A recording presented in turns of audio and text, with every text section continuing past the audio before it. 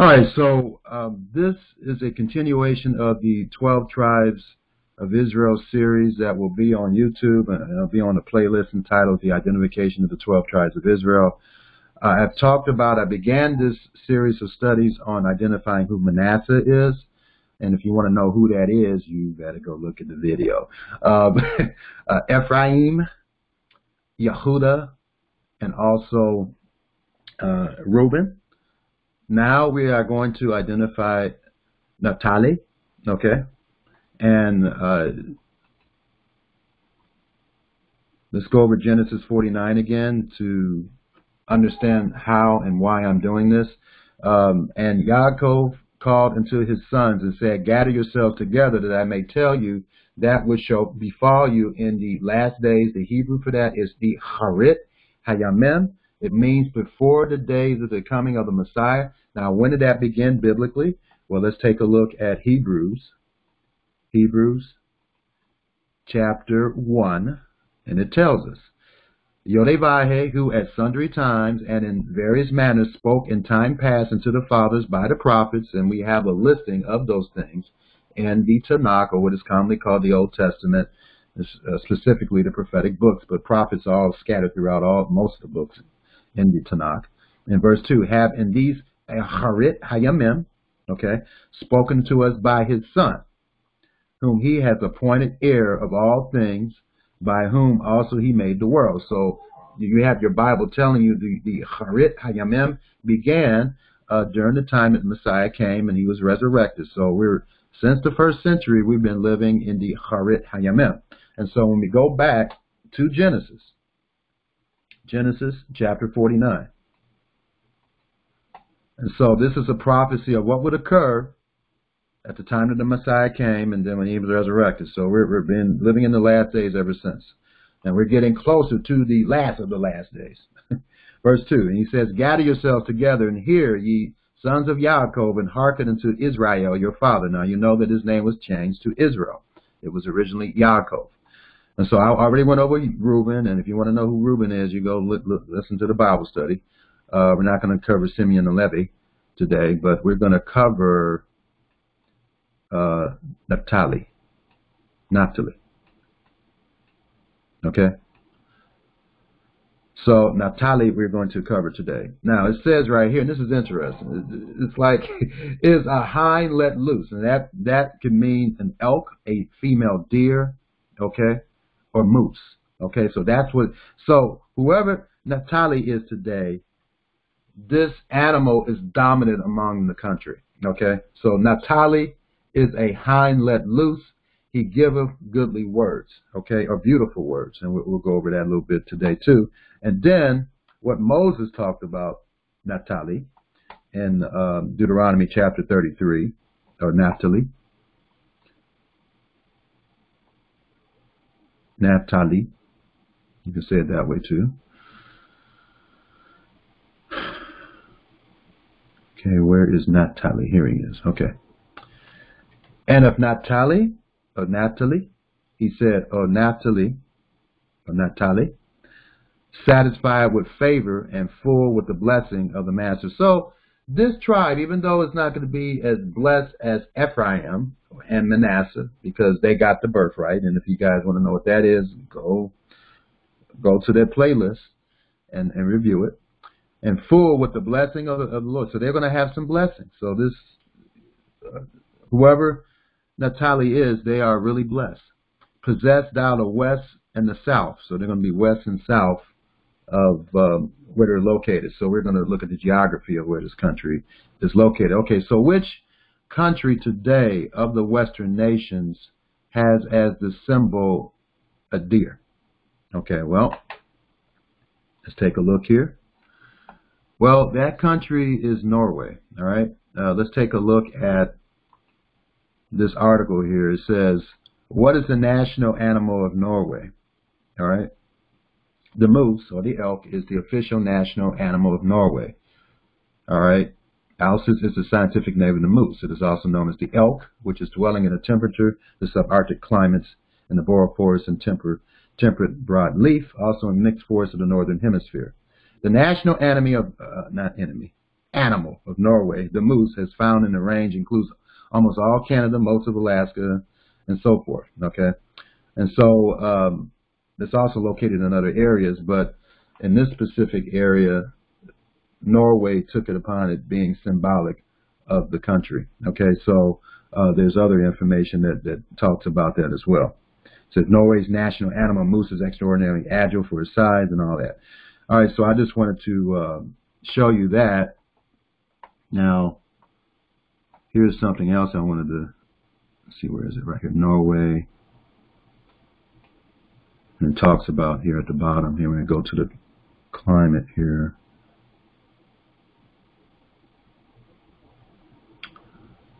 Okay, we had the geography here, and then I wanted to get over here to biodiversity here, the environment. Okay, so the largest predator, well, I want to talk about the largest predator. The largest land animal on the mainland is the elk, or, or it's a moose, and that's a deer. All right, the elk in Norway is known for its size and strength, and is often called I guess that's in Norwegian, I guess. Skogens Konge, which is the king of the forest. Now that's interesting. So we have Norway, and they have an animal that they consider the king of their forest, which is a deer or an elk or a moose, which of course the scriptures identify with Naphtali being having something to do with a deer. And so when we go back to Genesis in these uh, last days, which began in the first century. So Genesis chapter 49. Let's take a look at this again. And it's interesting, you just said one little sentence about Naphtali, okay, or Naphtali. Is a hind let loose, or a deer let loose, You give of goodly words. All right, so um, that's a quick way, really, to identify uh, Norway, but we're going to go into further detail for, for those who are naysayers and say, nay, nay. All right, so anyway, um, let's go to tribal identifications uh, of Norway here. And let me go down here at the bottom here. I don't want to get too complicated with this here. I'm going to try to make this simple here. All right, so Naphtali is a hind let loose, he giveth goodly words. The people of Naphtali uh, should repent. Well, yeah, because they had something to do with the Oslo agreements. I don't know if you guys ever um, looked at that, what that happened, but that had something to do with some kind of peace agreement. They, they were involved with that. And he identifies the uh, with uh, the Huns, uh, the Goths, you got to look through your history to identify those, and I don't have the time today to really go into detail about that. But, see, I'm looking for something else here. All right, so let me take a look at what I have marked up here in this book. Okay, and so on page 164 of the tribes, it states here, uh, a deer or stag was the popular symbol in Scandinavia. At present, the national animal of Norway is the elk. I just proved that to you. Uh, the Naphtalites were uh, were linked with the Danish in the same way that Dan and Naphtali were the two sons of Bilhah, maidservant of Rachel. And let me see some other things I wanted to bring out here.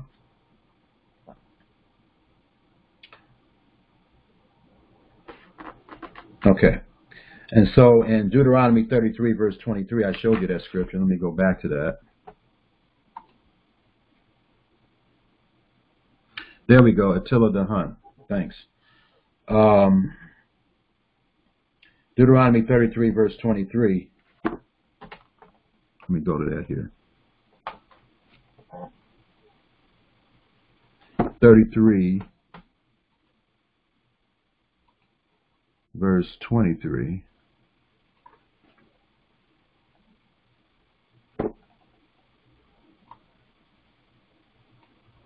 And Naphtali, he said, Oh, Naphtali, satisfied with favor and full with the blessing. So they, this country, Norway, as you're going to see today, they are really blessed. They, they, they, monetarily and everything. And possess thou the west and the south. Okay, so we're going to take a look at geography, or where they're located as well. But um, it says right here in his book on page 170, the Irish and the Highland Scots call themselves the Gaeli, G-A-E-L-I. We saw how the Israelites were first exiled. We find a section of Naphtali that settled for a while in the western Iran near Mane. They were known as Cadusi after the place of Kadesh, Naphtali, in Israel. Pliny reported that the Cadusi turned themselves G-A-E-L-I, Gaele. This is the same name that the Gaels of Ireland and Scotland used for themselves. Okay, so here's a quote from Orjan S. V E N N S O N. Says, and this is on page 175 of the Tribes by Yair Davidi. The river, which since the end of World War II marks the border between Norway and Russia, is called Grense Jacobs Elve, which means Jacob's Border River. Okay, and so that's that's interesting as well about uh, Norway. And there's something else I wanted to talk about too. Let me see. Um, and if, if, I can't find this, this will be it about Norway, basically. Uh, oh, here's thing. Let's see.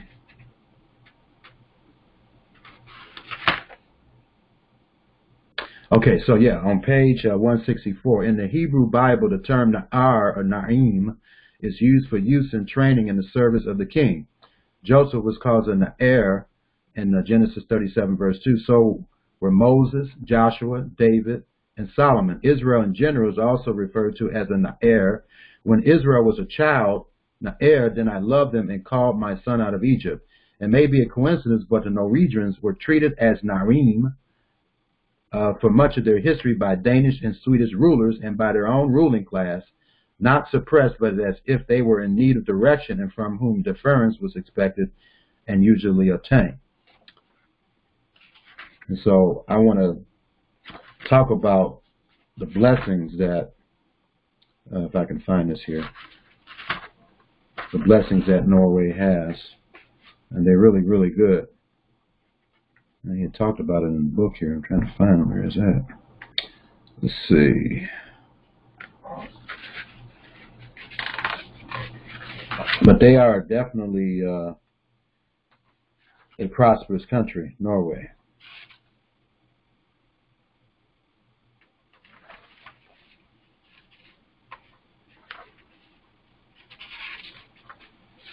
I might have to look them up here. Let's see. Yeah, here we go. Uh, page 167, uh, the blessing of Israel. Now remember, all the tribes have a certain amount of blessings, but not as much as Ephraim and Manasseh, who identified Manasseh as America and uh, Ephraim as Britain. Okay, and so um, the blessing of Israel, page 167 of Yair Davidi the Tribes. It says, according to UN reports, Norway, for several years running, was considered to have the best standard of living in the world and is still in the running. Norwegian prosperity is based on farming, fishing, and petroleum resources. Norway has about 4.5 um, million inhabitants. Okay, and so they are very, very, very um, blessed. Uh, okay, who is typing what here?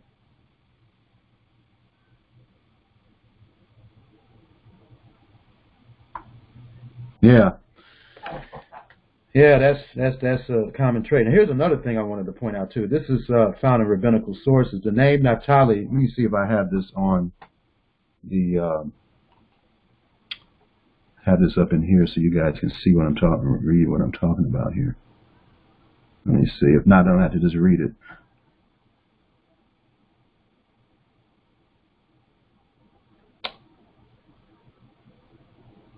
No.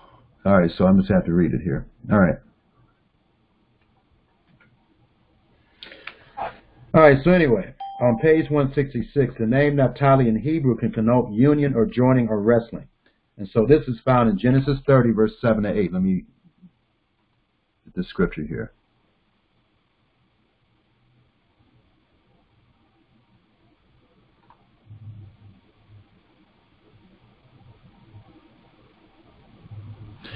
Yeah, but this, you can look this up. A moose can be a, a, a deer. It's, it's one of the largest deers.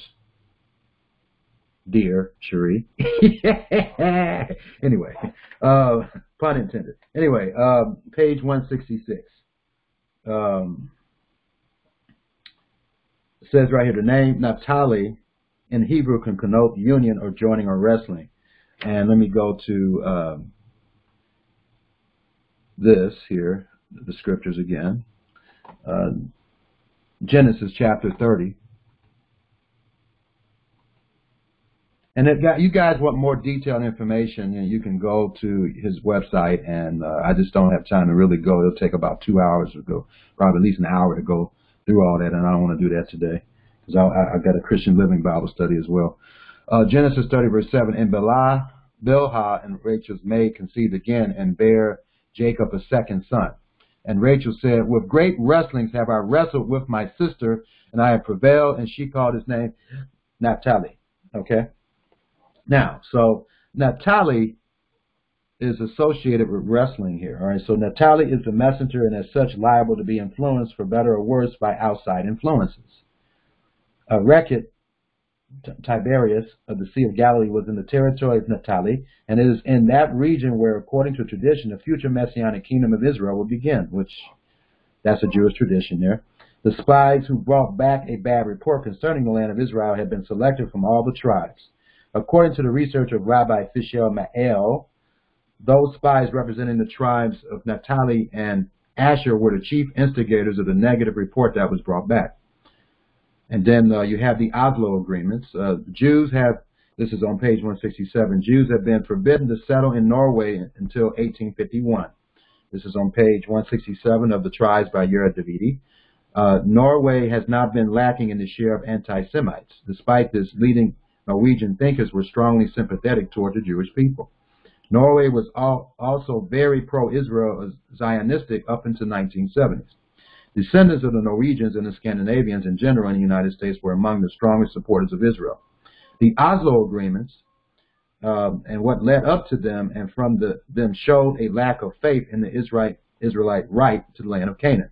The people of Norway, Naphtali, should repent. And so that's the reason why he was saying that, that they should repent, because uh, uh, in the area of uh, Norway, Oslo, uh, was that a peace agreement, a so-called peace agreement. Yeah, well, hey, it's great when we learn something new. I mean, we're going to always be learning something new. At least I hope for all of our lives, you know. So, so anyway, um, now when it says in Genesis 49 verse 21, Genesis 49 verse 21, you go back there. 49 verse 21. It says Naphtali or Naphtali Naphtali is a hind or a deer or a moose or elk let loose. He giveth goodly words or beautiful words. says the expression beautiful words in Hebrew is Amri Shephar or beauty.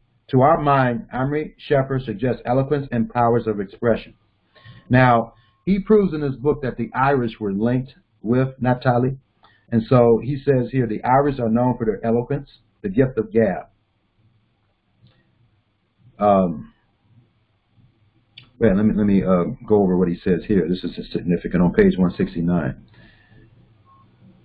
States here uh, the Israelitish tribe of Naphtali became the Naphtali Huns, okay, or the Hephthalites as they are called today, who together with the Dani were once in East Scadia. From East Scadia, the Naphtali migrated to Norway and the Danes to Denmark. This is proven by Scandinavian tradition, by tracing names, you can do a search and prove that for yourself by demographic considerations and by archaeological finds. And then this is where that quote again I quoted earlier. The river which since the end of World War II marks the border between Norway and Russia is called Grense Jacobs Elv, which means Jacob's border river. Okay. Now, he asked questions in the book on page 169. Naphtali in Ireland. On the whole, we identify Ireland with the tribe of Asher, and we'll go over that some, uh, some other time, but elements from other tribes were also present. In other words, even though the British people, um, a lot of them are Ephraim, Ephraimites, you also have elements of the other tribes in their population, but the dominant trait is uh, Ephraim. okay, in Britain. So anyway, um, right here it says, on the whole, we identify Ireland with the tribe of Asher, but elements from other tribes are also present. One of these appears to be Naphtali. Among some of the Irish, one finds aspects of Naphtali. All right, and so uh, the expression "beautiful words," or in the King James version, is, is quoted "good, goodly words." Okay, uh, means um, Amre, Shefer. Okay, in Hebrew, to our mind, Amri, Shefer suggests eloquence and powers of expression. So the Irish are known for their eloquence. The gift of gab, Irish literary ability is outstanding. Irish music and dance is also well known. Population, Ireland may have made its mark in literature, music, and dance more than other countries. The Vikings were important in Ireland, especially in the east. Many of these came from Norway, and these are identifiable with Naphtali. The major cities of Ireland were founded by the Vikings. We identified Naphtali primarily, and this is on page 170 of, of uh, one of the greatest books I think ever written, Yair Davidi, The Tribes. And so um,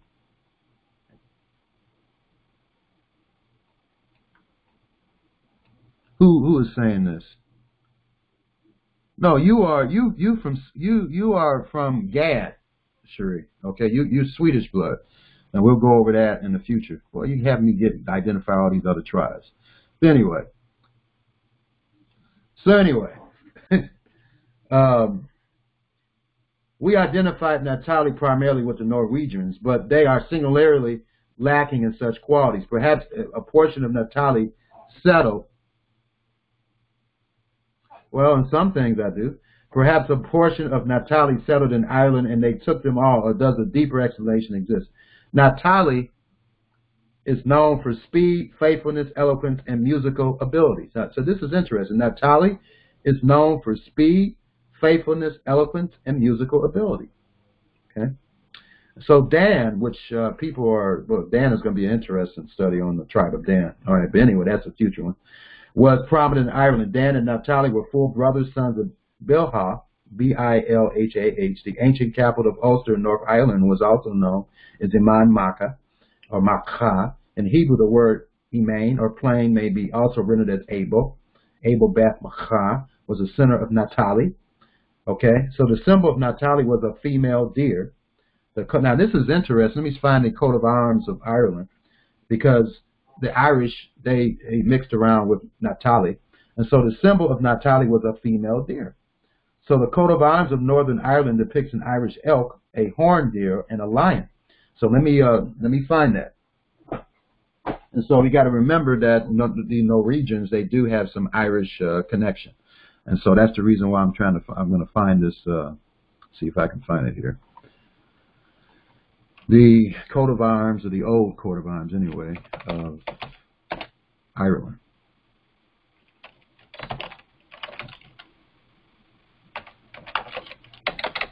You still laughing, Cherie? Oh boy, I'm telling you.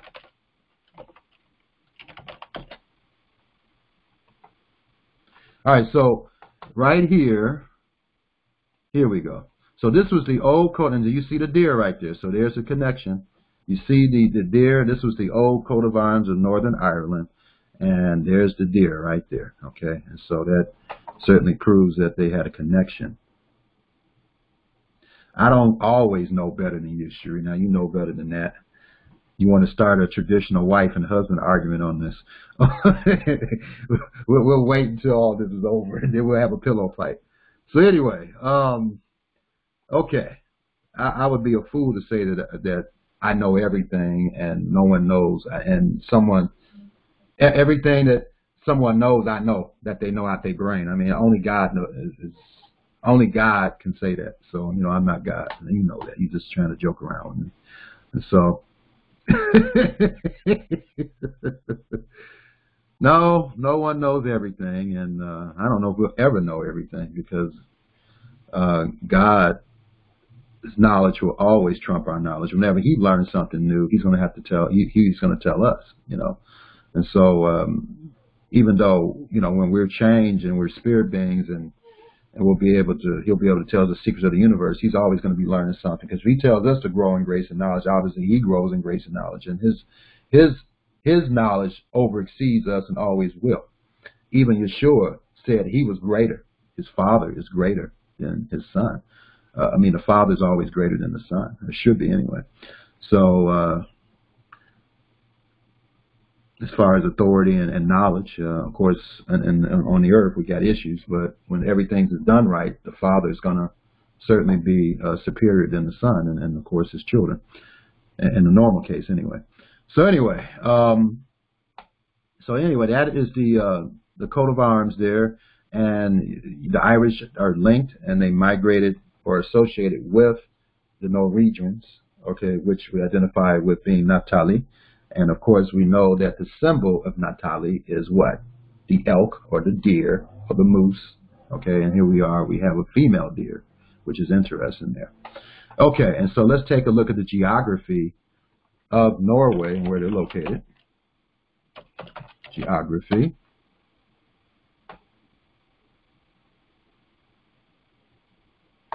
So let's take a look here.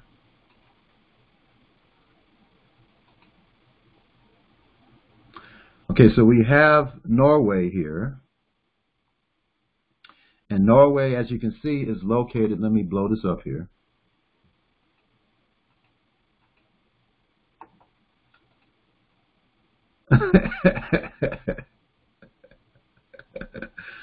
yes, rest from our labor and rest from arguments. Anyway, Norway geography.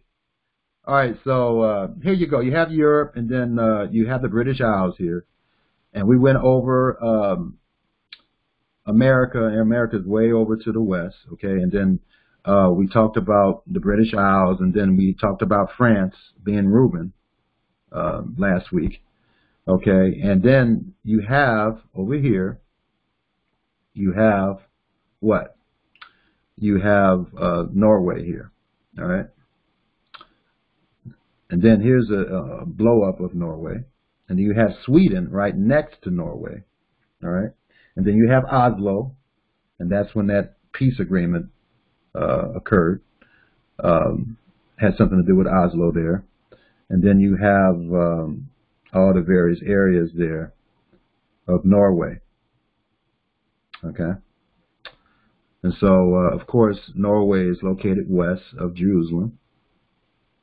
Okay. So, um, because you had the Middle East here, and then it's like northwest actually. So it's northwest, and you go all the way. Oops, I'm sorry. You go all the way here. Here's Israel, and you're going west. Here we're going northwest. It's right there. Okay. And so that's it does say in the prophecy that it would be west and south. Okay, so we're going west. It's south, meaning that down right here and it's west, you're going up here. But we're going north though, as well. So the west does have something to do with it. And so let's let's take a look at that again. Um, in Deuteronomy chapter 33.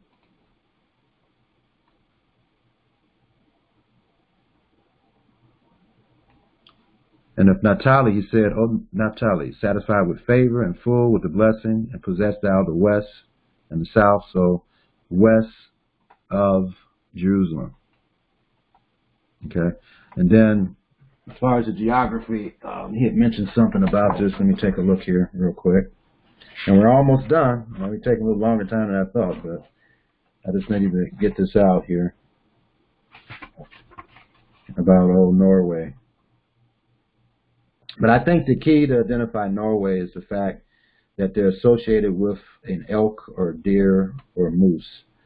And I, think that is uh, a good way to identify them quickly. Let's see if I can find the geography here and mention something about that. Um, let's see.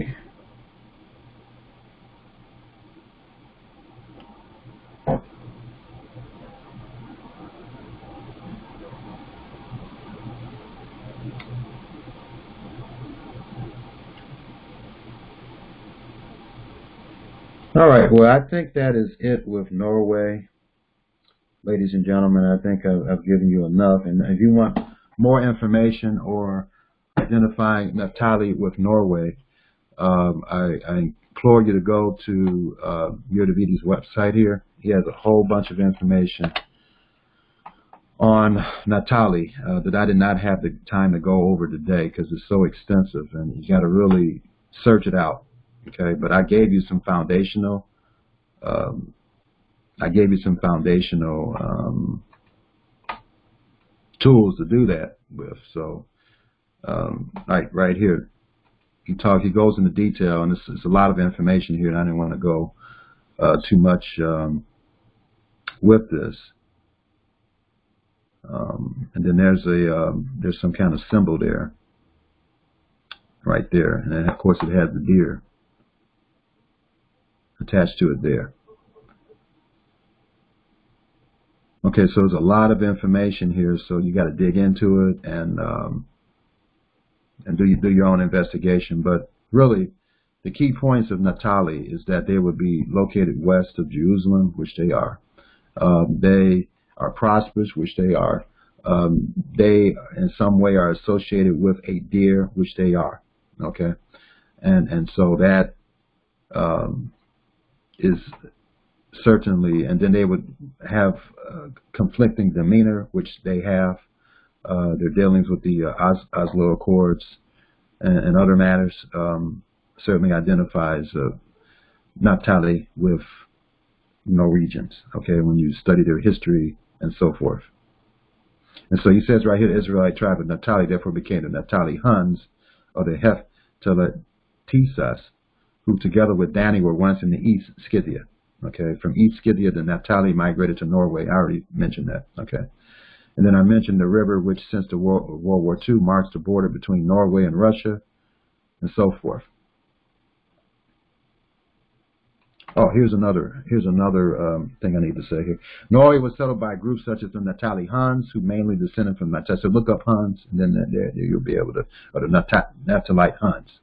Elements from Benjamin, Gad, and other tribes were also important. The Goths from Gad ruled over Norway for some time, as did the Swedes, who are also descended. Now, Sweden is right next to Norway, as as, as we can see here on the map. Um, let's take a look here. Wait a minute, what's going on here? Oh, not Italy. Oh, I got Italy here. Okay, here we go. Here, Sweden is right next to Norway. See, right there, Sweden. All right, so he says here,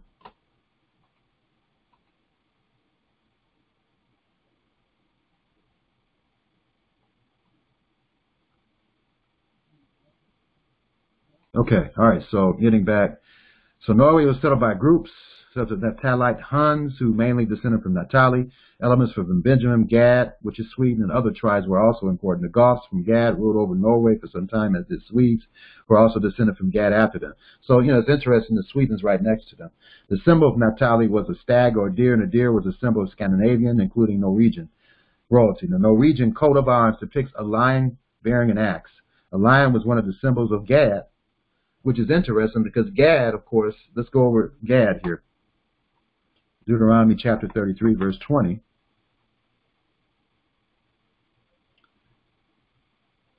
Right, and, and, and Gad, which is Sweden, which we'll go over in a future time, he said, Blessed be he that enlargeth Gad, he dwelleth as a lion and teareth the arm with the crown of the head. So, so, um, and it's interesting that the coat of arms uh, depicts a lion wearing an axe. A lion was one of the symbols of Gad. Moses predicted that a blow from one of the weapons of Gad would be sufficient to sever arm with the head, indicating the favorite use of a striking axe-like weapon as compared with a thrusting pointed one. The axe is something like it was one of the major weapons of the ancient Sumerians and the Massagetae, who were Goths east of the Caspian with whom the Naphthalite Huns were affiliated. So they were affiliated with the Swedes. Okay, who's talking here?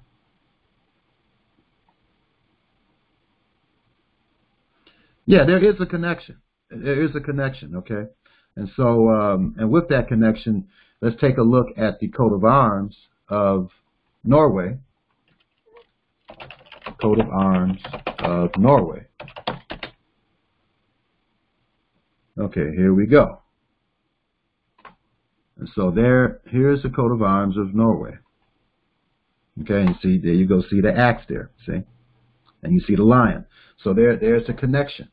There's a connection with the Swedes or Gad.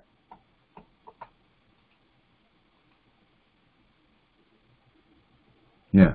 And so uh, a lot a lot of this, and, you know, when I do the, the prophecy on Daniel chapter seven, identifying those four kings or beasts that exist as I speak in these end times, um, coat of arms and, and, and doing this history, searching for history has a lot to do with identifying who this is. Again, again we're going by Proverbs 25 verse 2, which says that you have to search out a matter. And certainly in prophecy, uh, that is the case.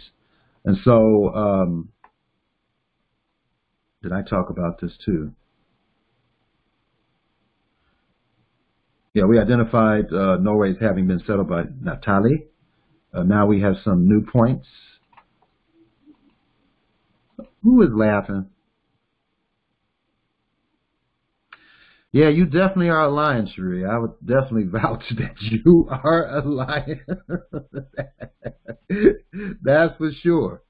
She's a strong woman. Nothing wrong with that, you know. But you know, it's uh, you know, a lion can be very strong, and we all got to learn how to control our lion lioness urges. Okay, so so, you know, men can act like a lion, and certainly a woman can act like a female lion. A man act like a male lion. So, all right, so let's review Naphtali. Uh, Naphtali, Naphthalite Huns. They're associated with that. You can do your re, uh, your history research and identify them. And you have the clans of Naphtali. Take a look at that. They're all associated. And it's interesting when we get outside of Ephraim and Manasseh and Yehuda and Reuben, then a lot of these other tribes, they're kind of like linked with the other tribes, some of them, okay? And so we're going to go over that uh, as we go through all this. So, but it, but it's pretty interesting, uh, all of this. And so, um, let me see what else.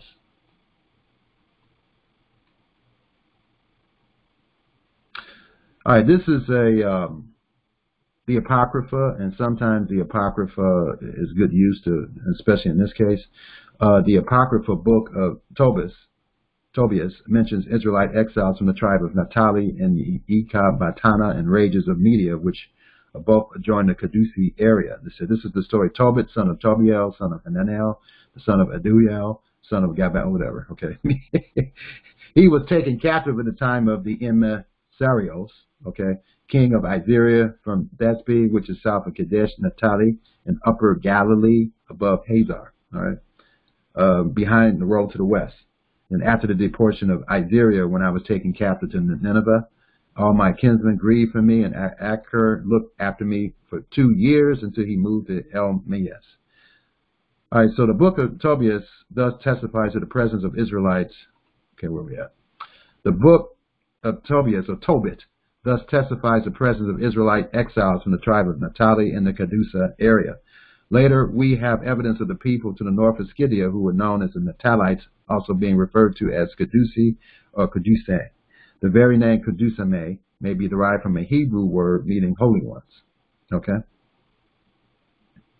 All right, so anyway, I've covered Norway, and I don't know which tribe we're going to do next week, but we're going to do another tribe. So I'm going to go ahead and disconnect, and then we're going to do a Christian Bible study, a Messianic Bible study. And uh, let me go ahead and uh, stop the recording.